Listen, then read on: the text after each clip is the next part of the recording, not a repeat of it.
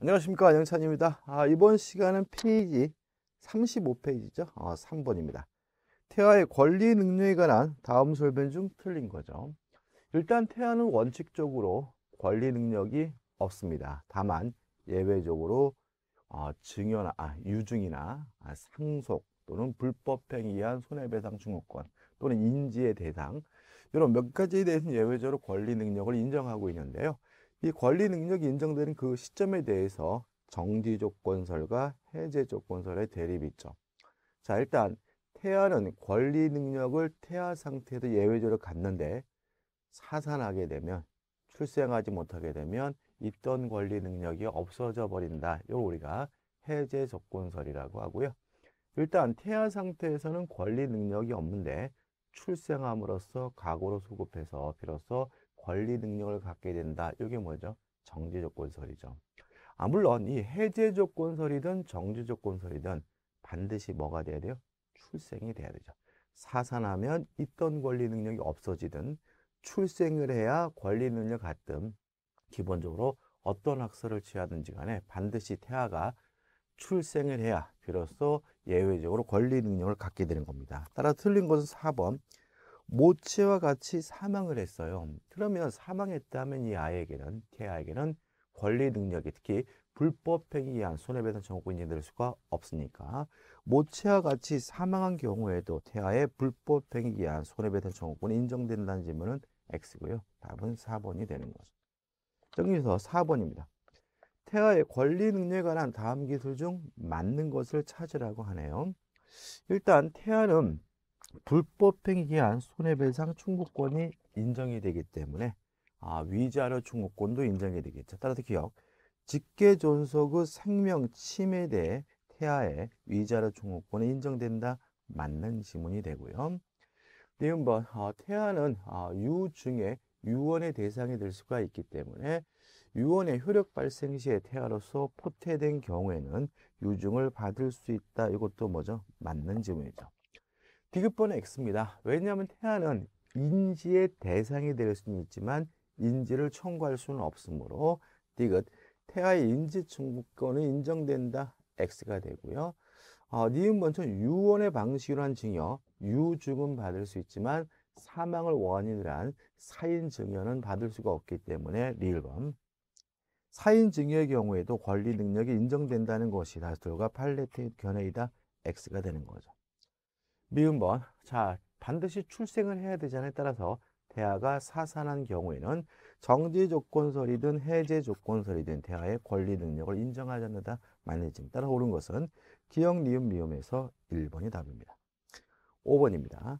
감남과 을려는 법률상 부부인데 을은 태아 A를 임신 중이다. 이에 관한 설명으로 옳지 않은 것은 자 3번을 보시면 갑이 정의 음주 운전 차량에 지어 사망한 경우 그 당시 태아인 A는 불법행 출생을 하게 되면 불법행위에 의한 손해배상을 청구할 수가 있으니까 그 손해배상은 정신적 손해에 대한 손해배상 청구인 위자료도 포함하는 거죠. 따라서 태아인 A는 이후에 출생하였다고 하더라도 정에 대해 위자료 청구권 행사하지 못한다는 질문은 X가 되고요. 답은 3번이 되네요. 6번입니다. 자연인 갑이 사망함으로써 발생하는 민법상 법률 효과가 아닌 것은 자 사망했습니다. 상속이 시작되겠죠. 1번은 맞네요. 자 사망을 하게 되면 그 사람이 가지고 있던 권리 능력이 소멸되니까 법정 대리권도 소멸될 거고요. 2번 맞죠? 또 혼인 관계도 종료가 되고 3번 갑이한 조건 없는 유언의 효력 발생, 유언의 효력도 발생하겠죠. 답은 5번입니다. 왜냐하면 만약에 갑이 사망하게 되면 갑이 가지고 있던 재산권은 상속이 되겠죠. 따라서 임차권도 재산권이니까 상속연에게 임차권이 상속이 되지 임차권 자체가 소멸되는 것은 아니기 때문에 5번 갑의 임차권의 절대적 소멸은 X가 되고요. 아, 답이 아니 답이고요. 답은 5번이 되는 거죠. 7번입니다. 갑 과 큰아들 을은 계곡에서 물놀이를 하던 중 게리라성 폭우로 갑자기 불어난 급류에 휩쓸려 익사하였다. 이틀날 갑과 을의 사체는 모두 발견되었으나 누가 먼저 사망하였는지는 알 수 없다. 갑의 유족으로는 제한 능력자인 병과 어, 작은 아들 정이 있다. 이에 관한 설명으로 옳은 거죠. 자, 우리는 이걸 우리가 동시 사망의 추정이라고 하죠. 자, 어, 누가 돌아가셨는데 누가 먼저 죽었는지 알 수 없는 경우에는 동시 사망한 것으로 추정이 되죠. 아, 이 동시 사망 추정의 규정에 따라서 요 추정받는 이 당사자 간에는 뭐가 이루어지질 않냐면 아, 상속이 이루어지질 않거든요. 그래서 결과적으로 아들이 먼저 사망한 것도 추궁한 것과 같은 똑같은 효력이 인정이 됩니다. 따라서 옳은 것은 이 3번 갑과 을은 서로 상속하지 않는다. 이게 옳은 거죠. 1번은 X예요. 왜냐하면 추정이지 뭐는 아니죠. 본다 간주인 것은 아니고요. 아, 2번 인정 사망이라는 것은 사망을 확인할 수가 없는데 사망한 것이 확실한 경우죠. 예를 들어 지금 이 사례에서 시신이 발견되지 않았어요. 아, 그렇지만 돌아가셨을 것이 확실해요. 그때 하는 것이 뭐예요? 인정 사망이니까 2번도 뭐죠? X가 되고요. 4번 사망하는 순간 권리 능력이 소멸되는 것이지 가족관계 등록부의 사망으로 기재해야 소멸되는 것은 아니고요. 5번 제한 능력자에게도 뭐가 인정됩니까? 상속권이 인정이 되니까 5번도 물론 X가 되네요. 자, 8번입니다. 만 18세 미혼인자가 법정 대리인의 동의 없이 단독으로 할 수 있는 것을 모두 고른 거죠. 자, 18세면 유언 능력이 인정이 됩니다. 17세 이상이면요. 기억할 수 있네요. 니은번 대리 행위할 수 있거든요. 왜냐하면 대리는 행위 능력자일 필요 없다라는 민법 117조 규정에 따라서요. 디귿번 경제적으로 유리한 매매 못합니다. 다시 말하면 권리만을 얻거나 만자가 중요하죠. 의무만을 면하는 행위는 독자적으로 할 수 있지만 매매는 권리 의무가 모두 발생하는 것이니까 아무리 유리하더라도 독자적으로 할 수가 없죠. 1번 근로기준법상 임금의 청구 독자적으로 할 수 있습니다. 그죠? 기억하시고 그 다음에 미음번 증여받기로 한 계약의 해제 자 증여를 받기로 했어요. 증여받는 것은 권리만을 얻는 거죠. 독자적으로 할 수 있어요. 근데 해제를 하게 되면 권리를 박탈하는 거잖아요. 이건 뭐죠? 독자적으로 할 수가 없는 거죠. 자, 권리만을 얻는 행위는 할 수 있습니다. 독자적으로 증여계약은 독자적으로 할 수가 있어요. 근데 증여계약을 해제하는 것은 권리만을 얻는 것도 아니고 의무만을 면하는 것도 아니기 때문에 독자적으로 할 수가 없고 따라 답은 기역, 리을, 리을에서 2번이 되는 거죠. 9번 미성년자는 법정 대리인이 범위를 정하여 처분을 허락한 재산의 처분 행위는 단독으로 할 수 있다. 이에 관한 다음 설명 중 틀린 것을 찾으라고 하네요. 자, 일단 음, 여기서 이제 재산의 처분은 넓은 의미인 거죠. 그러니까 처분 행위까지 할 수 있는 거죠. 그죠? 처분 행위까지. 그래서 사용할 수도 있고 수익할 수도 있고 포함되는 것이니까 5번 따라서 그 사용 수익은 재산의 처분 행위에는 포함되지 않는다. X입니다. 처분 행위까지 할 수 있는 것이니까 물론 사용 수익도 할 수 있는 거고요. 답은 5번이 되는 거죠. 10번입니다. 17세 갑은 을 소유 자전거를 법정 대리인의 동의를 얻지 않고 100만 원에 구입하기로 을과 매매 계약을 체결하고 다음 달 대금 주입과 동시에 자전거를 건네받기로 하였다. 이에 관한 설명으로 옳지 않은 것입니다. 자, 17세 갑이니까 미성년자죠. 자, 미성년자는 원칙적으로 법정 대리인의 동의가 있어야 법률 행위를 할 수 있고요. 법정 대리인의 동의 없이 한 법률 행위는 뭐 할 수 있습니까? 취소할 수가 있는 거죠. 자, 조심할 것은 뭐냐면 제한 능력자 본인도 취소할 수 있고요. 그 제한 능력자의 법정 대리인도 취소할 수 있는 거거든요. 다시 말하면 제한 능력자 본인이 독자적으로 동의 없이도 취소하는 것이 가능합니다. 따라서 2번 갑은 법정 대리인의 동의가 없었다는 이유로 자신이 체결한 매매 계약을 원칙적으로 취소할 수 없다. X죠. 취소할 수 있습니다. 독자적으로. 또 하나 조심할 것은 제한 능력자에게는 무엇이요? 금반원의 원칙에 적용되지 않는다는 것도 같이 기억해 두셔야 되고요. 답은 2번입니다. 11번입니다. 미성년자 갑은 법정 대리인 의뢰 동의 없이 자신의 디지털 카메라를 병에게 매도하는 내양의 계약을 병과 체결하였다. 이에 관한 설명으로 옳은 것은 자 일단 1번 갑이 위 계약을 취소하려는 경우 자 미성년자도 독자적으로 취소할 수가 있거든요. 그러면 취소를 못하게 막으려면 누가요? 병에게 병이 동의가 있었다는 사실을 뭘 해야 돼요? 입증을 해야 되므로 의뢰 동의 유무에 대한 증명 책임은 갑에게 있다는 질문은 X가 되는 거죠. 2번 계약 당시 갑이 미성년자임을 알고 있었던 병은 의뢰에 대하여 자신의 의사표시를 철회할 수 있다. X입니다. 자, 미성년자 같은 제한 능력자와 거래한 상대방은 추인 여부에 대해서 최고할 수 있고요. 또 미성년자한 계약을 철회할 수가 있습니다. 최고는 상대방이 선악 불문하고 할 수 있지만 악의 상대방은 철회할 수 없다. 철회는 선의 상대방만이 할 수 있다는 거 꼭 기억해 두시고요. 어, 2번은 뭐죠? X가 되는 거죠. 3번 병이 성년자가 된 갑에게 1개월 기간을 정하여 계약의 추인 여부 확답을 촉구한 경우 갑이 그 기간 내 확답을 발송하지 않으면 계약을 취소한 것으로 본다. X죠. 계약을 추인한 것으로 봅니다. 예외는 뭐죠? 어, 만약에 이러한 추인을 하기 위해서 특별한 법적 절차가 필요한 경우에는 예외적으로 취소한 것으로 보지만 특별한 사정에 원칙적으로 추인한 것으로 간주가 되면 3번은 X가 되는 거죠.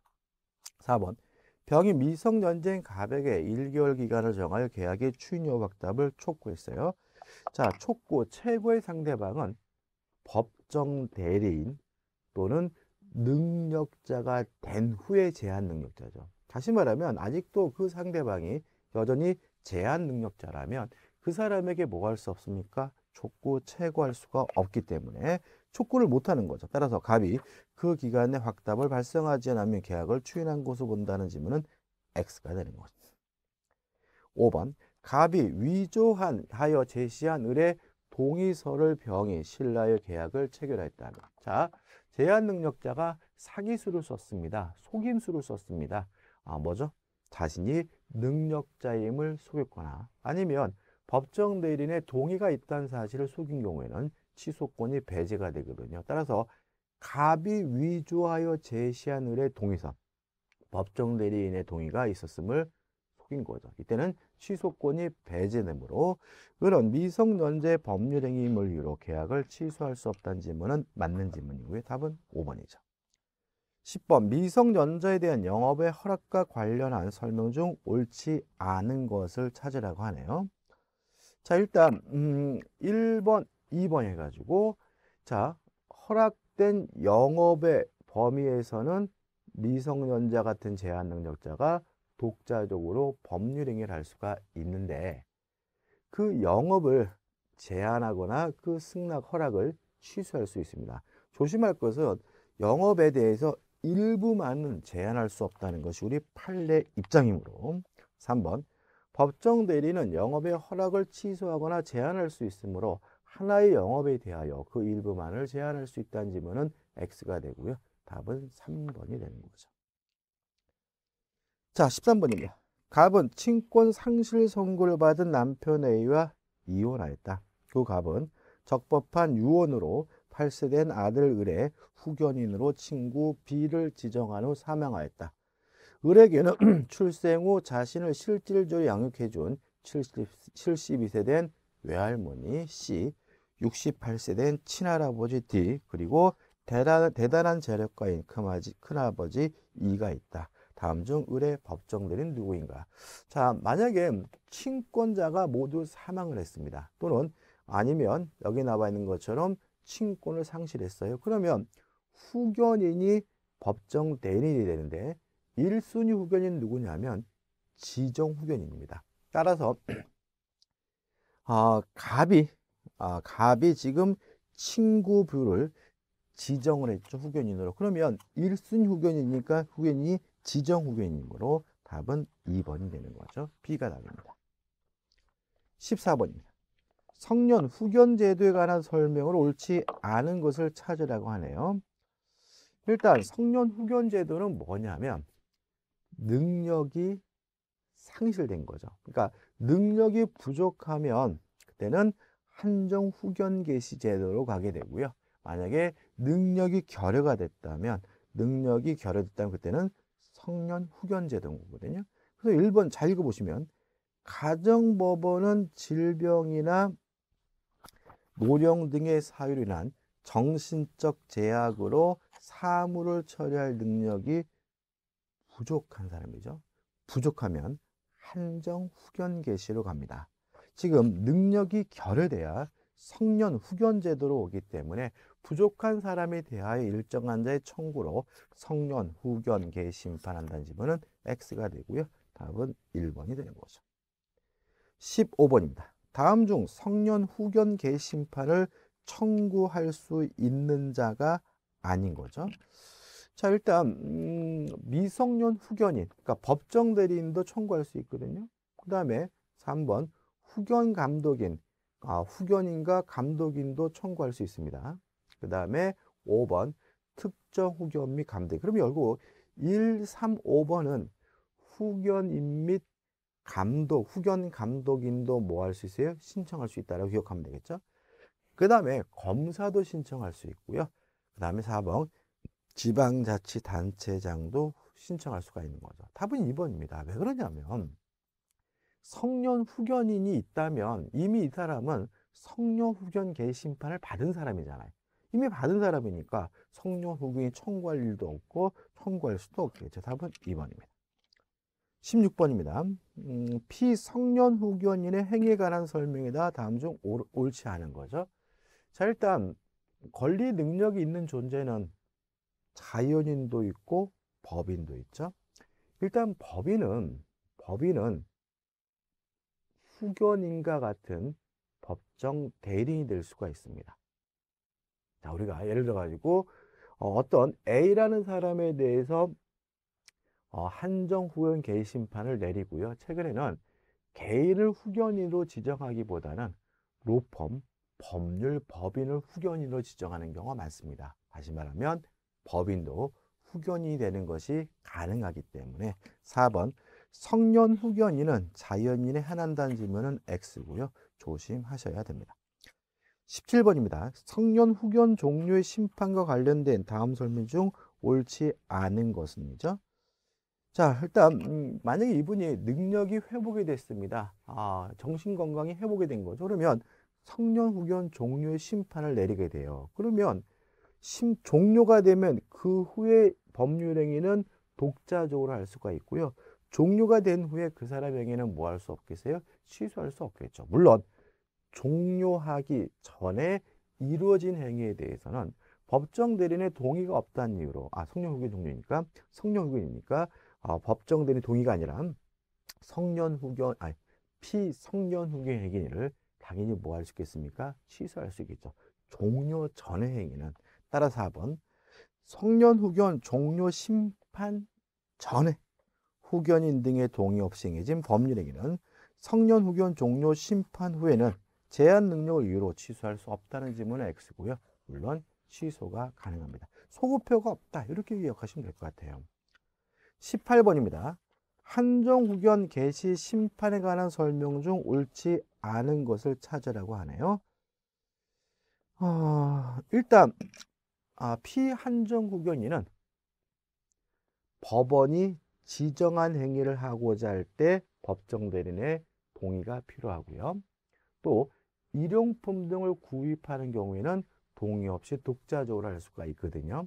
근데 조심할 것은 일용품이라 하더라도 과다한 비용이 드는 경우에는 동의 없이는 할 수가 없는 거죠. 다시 말하면 피한정 후견인은 피성경 후견인도 마찬가지고요. 생필품을 구입하는 것은 독자적으로 할 수 있다. 조심할 것은 과다한 비용이 들지 않는다는 거죠.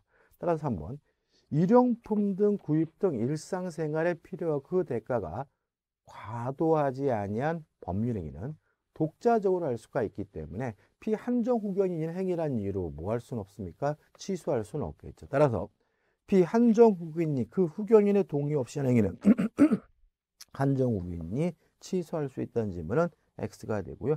답은 5번이 되는 거죠. 자, 아, 19번입니다.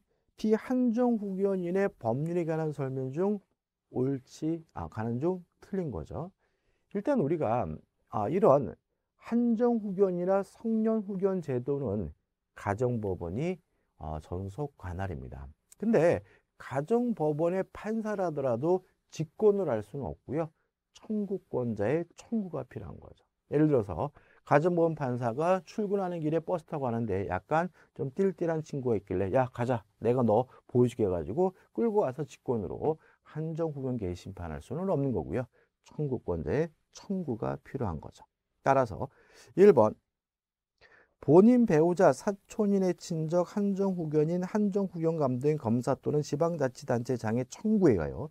청구권 청구가 필요한 거죠. 가정법원은 한정 후견인의 동의를 받아야만 할 수 있는 행위의 범위를 변경할 수가 있고요.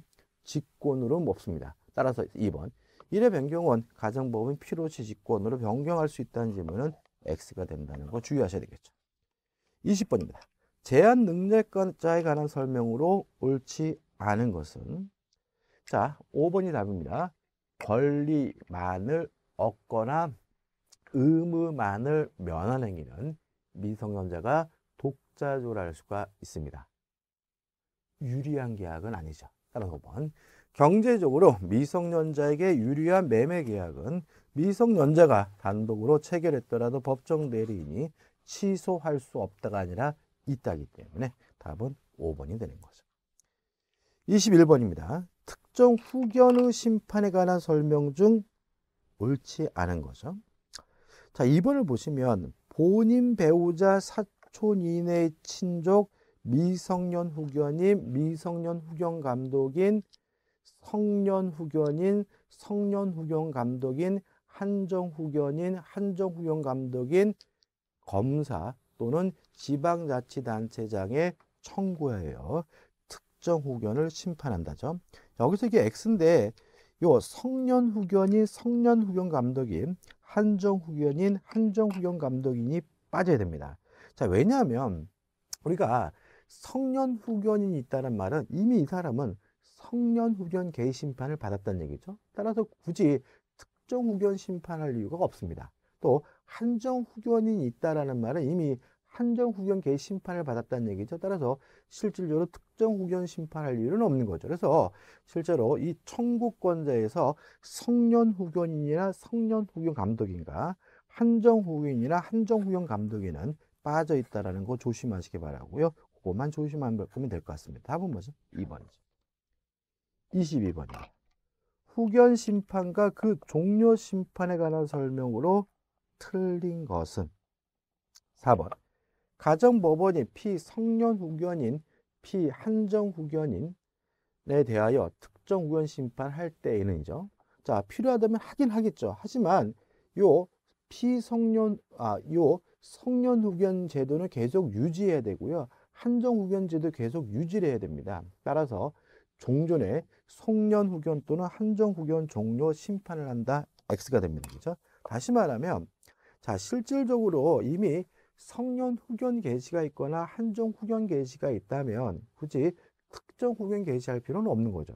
다만 그래도 필요하다고 인정된다면 할 수는 있겠지만 이 특정 후견 특정 후견 심판을 위해서 성년 후견 개시를 성년 후견을 취소하거나 종료를 하거나 또는 한정 후견을 뭐 할 수는 없어요? 종료할 수는 없겠죠. 답은 4번입니다. 23번입니다. 다음 중 제한 능력자인 상대방 보호제도에 관한 설명으로 옳지 않은 것을 찾으라고 합니다. 자, 니번 보시면 확답의 촉구 누구한테 합니까? 제한 능력자의 법정 대리인 또는 능력자가 된 후에 제한 능력자죠.